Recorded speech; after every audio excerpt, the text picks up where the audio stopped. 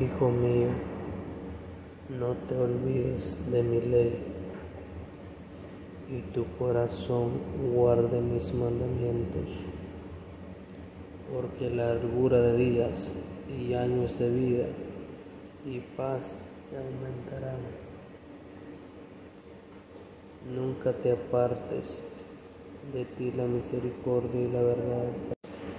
Átalas a tu cuello, escríbalas en la tabla de tu corazón y hallarás gracia y buena opinión ante los ojos de Dios y de los hombres. Fíate de Jehová de todo tu corazón y no te apoyes en tu propia prudencia. Reconócelo en todos tus caminos y Él enderezará tus veredas. No seas sabio en tu propia opinión, teme a Jehová y apártate del mal, porque será medicina a tu cuerpo.